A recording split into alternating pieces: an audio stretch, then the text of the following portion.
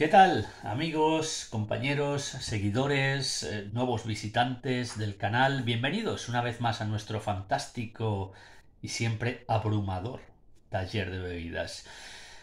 Acá estamos en el taller de bebidas dispuestos a ofrecer un nuevo brebaje etílico, que es lo que hacemos en este canal.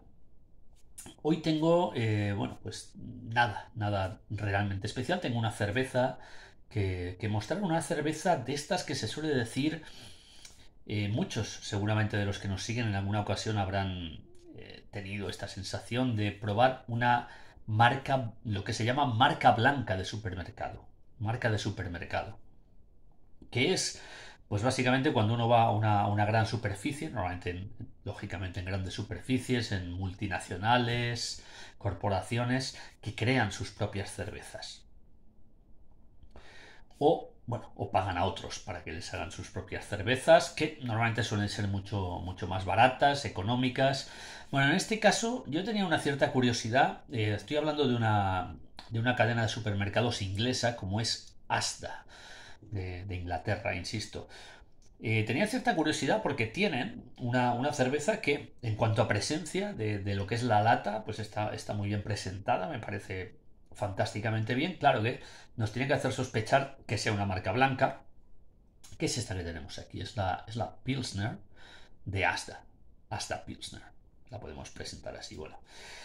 Eh, lo cierto es que esta, esta de supermercados ha estado cambiando muchísimo lo que ha sido la marca blanca. Eh, fijaos que aquí abajo dice directamente Selected for Asda, eh, seleccionada para Asda, con lo cual efectivamente es la marca blanca y lo único que ponen en la lata es lo de Pilsner. Y lo hacen aquí con esta estampa plateada que podemos ver. Por cierto, interesante ver que tienen aquí el, eh, el, águila bicéfala, ¿no? que es un, eh, pues un, símbolo de ciertas monarquías de Centro Europa, eh, un símbolo de otros tiempos, por así decirlo, ¿no? el águila bicéfala. Y que luego se extendió a otro tipo de, bueno, no vamos a entrar en política del siglo XIX o del siglo XX o de regímenes anteriores, pero la cuestión es que ahí está. ¿eh? Es la simbología un poco que lleva esta, esta lata.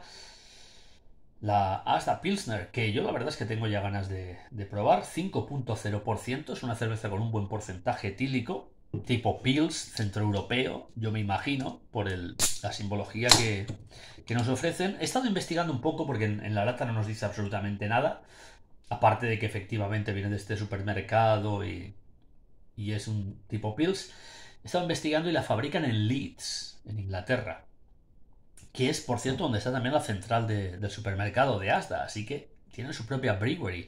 En muchas otras ocasiones lo que hacen estos supermercados es eh, confiar la, suerte que tienen eh, de venta a una brewery independiente, ¿no? Y muchas veces son breweries europeas o, bueno, los que, los que nos estén viendo de América pues sabrán que es exactamente lo mismo, que no siempre es en, la misma nación, en el mismo país donde se fabrica. En cualquier caso, en este caso esta, esta pils sí que viene de, esta cerveza tipo Pils sí que viene de, Inglaterra, ¿eh? del, mismo lugar de donde es originario el supermercado Asda, aunque por ejemplo nosotros estamos en, Escocia y aquí también tenemos que sufrir a esta gente, a, la gente, a, a, los ingleses básicamente, y a la gente de Asda. Asda Pilsner. No sé por qué tengo la sensación de que esta cerveza no va a ser ninguna maravilla, pero tengo un, ganas de probarla y agregarla al taller de bebidas. Vamos a ver qué tal está.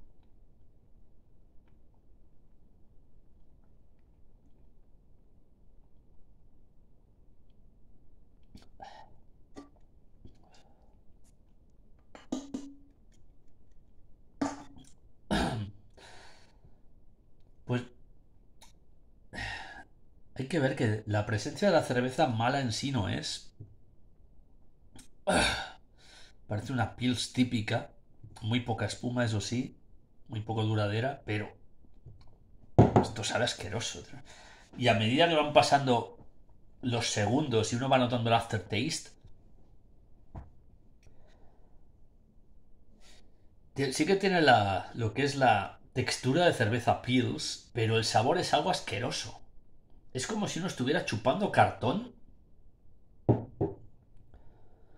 En, la parte superior de la lengua se queda como un, un sabor que uno no se puede, no puede eliminar.